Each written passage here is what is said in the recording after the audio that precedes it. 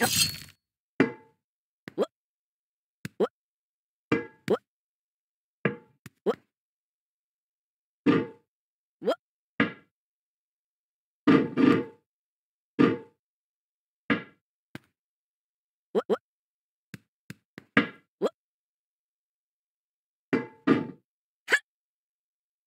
no feeling more intense than starting over.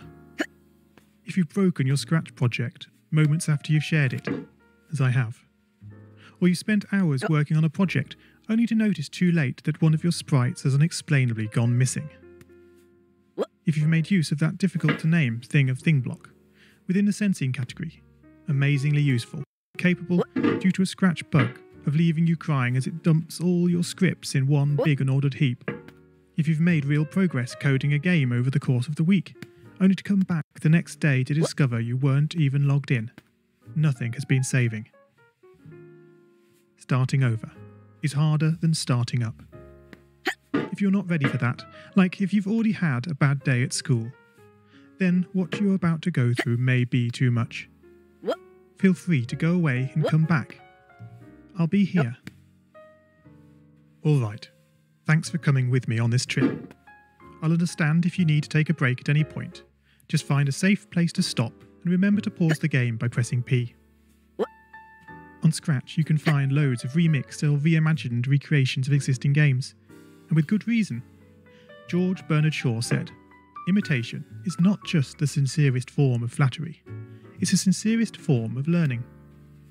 This game is a recreation of a game that came out in 2017 titled Getting Over It with Bennett Foddy. That game in turn was a homage to a free game that came out in 2002. Both games involved dragging yourself, using a hammer, up a mountain assembled from assets and objects sourced from many other games. It seems appropriate then that, when trying to recreate Getting Over It in Scratch, that we should construct our mountain from the same assets used in literally millions of Scratch projects, the unmistakable contents of the Scratch costume library.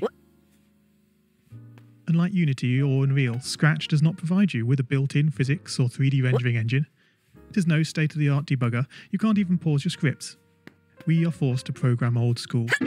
Our experience capped at 30 frames per second on a 480 by 360 pixel stage.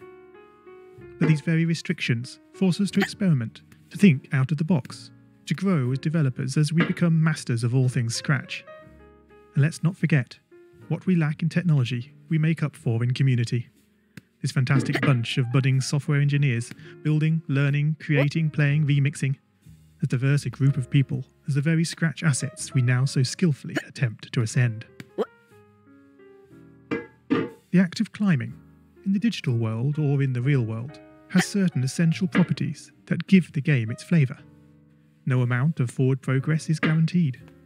When you start getting over it, you're standing next to a dead tree which blocks the way to the entire rest of the game.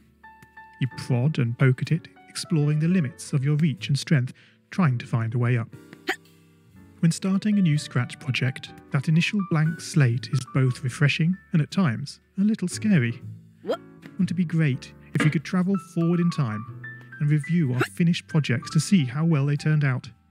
I certainly wish we could. The real draw of coding what gives it that special zing is the challenge of accomplishing something you've never done before. At this point, you don't want to fall into the trap of rushing into creating loads of content, designing all the levels, the player costumes, all the easier stuff that can be perfected later. No, before all that, you need to prod and poke that tree. That is, understanding the coding difficulties you're expecting to face and try out any ideas to solve them you may not be able to time travel, but at least this way you can get a good idea of how well your project is likely to go, and potentially save yourself a lot of time. This project began life a couple of months ago as three simple scripts the player, hammer, and level. I spent no time on the art, just using Scratch Cat and a few rectangles drawn in the sprite editor. The scripts for the player quickly mocked up in a similar fashion to those I teach on my YouTube channel. With the hammer, I had to improvise because I'd never done anything quite like that before. And boy, did I prod and poke at those scripts.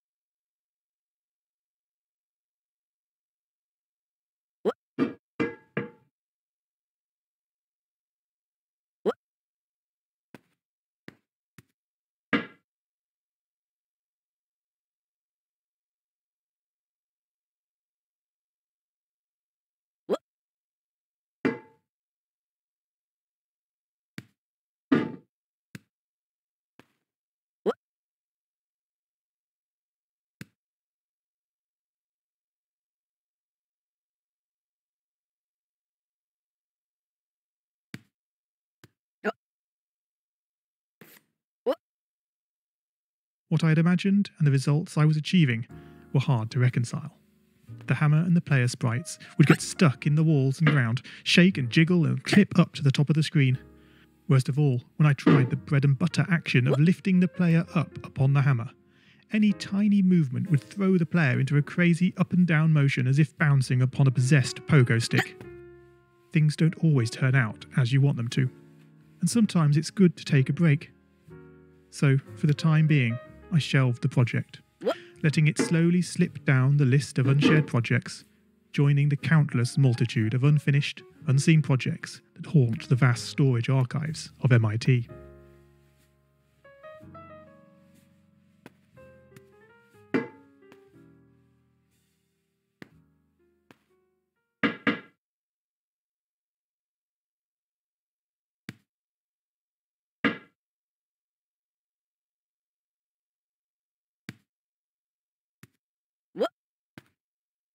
Have you, as you've been playing this game, stopped to wonder how you can balance on a hammer that is held out to one side? It feels quite natural in game, but try it in the real world, and you'll not get your feet off the ground.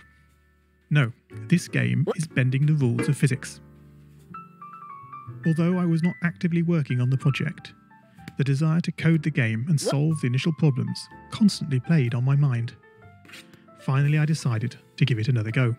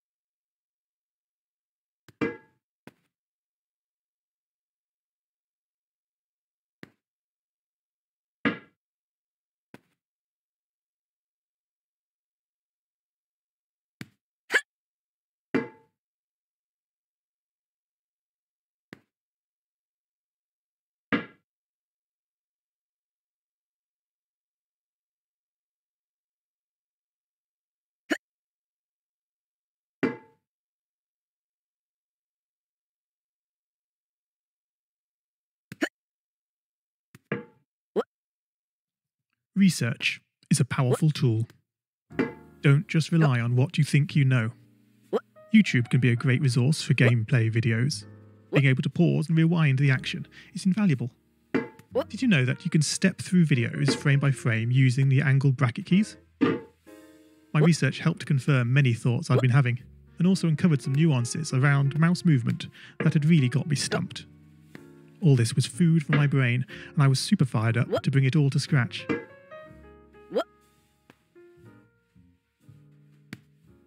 And so, back in Scratch, I completely restructured the player and hammer scripts, bringing the scripts together in a single sprite. This allowed the movement of the two objects to be tracked together and to move dependent on each other. Of course, in coding, as in real life, you often have to compromise. It isn't reasonable to implement a full physics engine in Scratch, but often it's enough to create a good estimate of what the player is expecting. 1 plus 1 is 2. If this wasn't always the case, if sometimes the answer was 3, then we would be in trouble. The addition operator is therefore referred to as deterministic. Similarly, in Scratch, if your player sprite reports that it isn't touching the level, then you would expect, assuming the player is not moved relative to the level, that this would continue to be the case. As it turns out, the sensing block in Scratch does not behave like this it can be non deterministic.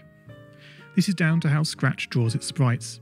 Their size and shape can change very slightly depending where on the screen they are first visualised. This can easily break a carefully crafted platforming script, resulting in sprites becoming trapped, teleporting to the edge of the screen, or worse of all, the game freezing up.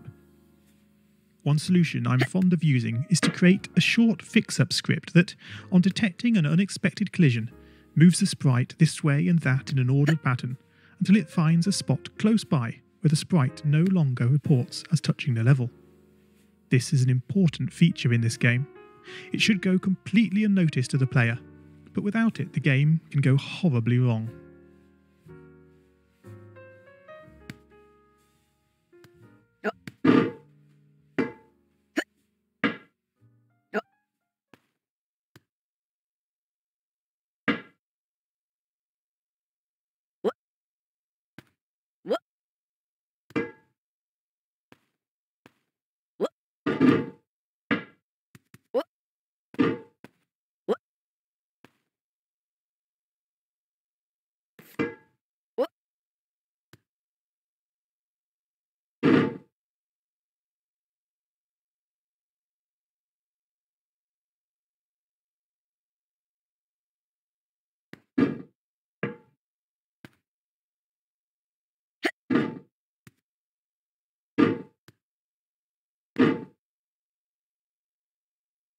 Oh man, you lost a lot of progress.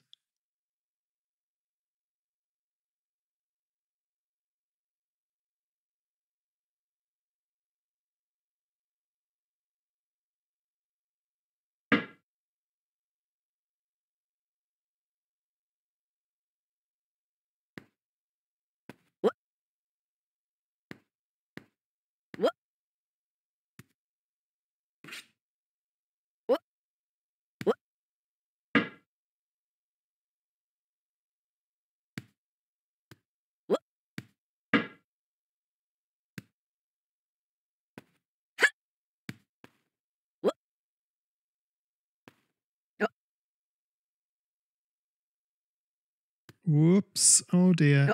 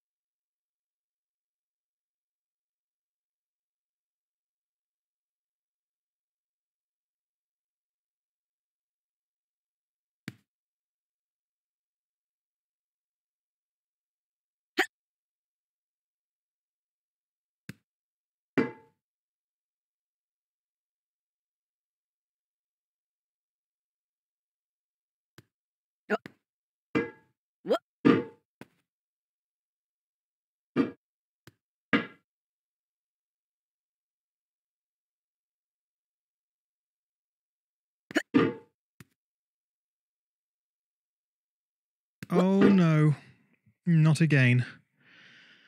Pick yourself up, brush yourself off. Back up you go.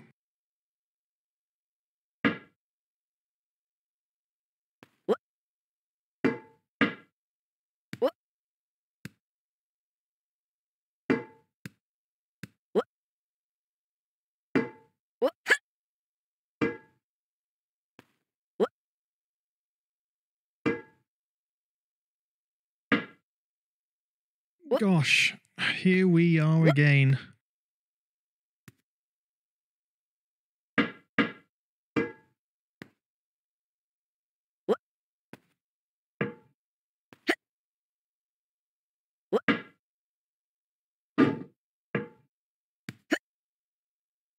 It always seems impossible. Until, that is, it's done. Failure is not always a mistake. It may simply be the best one can do under the circumstances. The real mistake would be to stop trying. Fall seven times and stand up eight.